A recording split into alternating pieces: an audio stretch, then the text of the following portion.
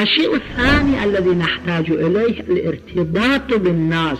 أكو حديث عن الإمام الصادق عليه الصلاة والسلام أعجز الناس من عجز عن اكتساب الأصدقاء وأعجز منهم من حصل على الأصدقاء ثم تركهم. هذا أعجز من ذاك الشخص الأول. أصول الديمقراطية في عالم اليوم وأصول المجالس الاستشارية في العالم الإسلامي الارتباط بالناس. بقدر ارتباطك بالناس أنت ناجح وبقدر عدم ارتباطك بالناس أنت فاشل. بكم أنت مربوط؟ هل مربوط بالعلماء هل مربوط بالخطباء هل مربوط بالأثرياء هل مربوط بالتجار هل مربوط بالموظفين هل مربوط بطلاب المدارس؟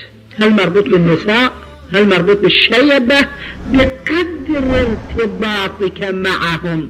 حقيقة هذا شيء إني وجدته عجيبا في الحياة.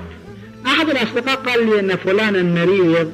نتروح إلى زيارته. قلت نعم نروح إلى زيارته ذهبت إلى زيارته. رحب بي فرد ترحيب كبير. بعد يومين جاء وقال لي هل تعرف نتائج هذه الزيارة؟ قلت أزور صديق وأعرف صديق. قال هذا الصديق كان تاركا لصلاتك منذ مدة. والراجع عن تقليدك منذ مدة لكن لم أخبرك به. لأنه رايح إلى بلد وتكلم معه وترك التقليد وترك الصلاة. لكن وقت اللي رحت إلى زيارته ورجعت في نفس المجلس قال لأصدقائه الجالسين قال عجيب شلون هؤلاء قصوا علي؟ نحن بحاجة إلى كثرة الارتباط بالاجتماع. أنت مرتبط بالاجتماع؟ ارتبط به أكثر. أنت غير مرتبط بالاجتماع ارتبط بالاجتماع أكثر. البلاد الغربية لماذا هم سادة؟ قلنا لأنه كفاءات. الكفاءات من أين جاءت؟ من الديمقراطية الارتباط بالناس. الارتباط بالناس.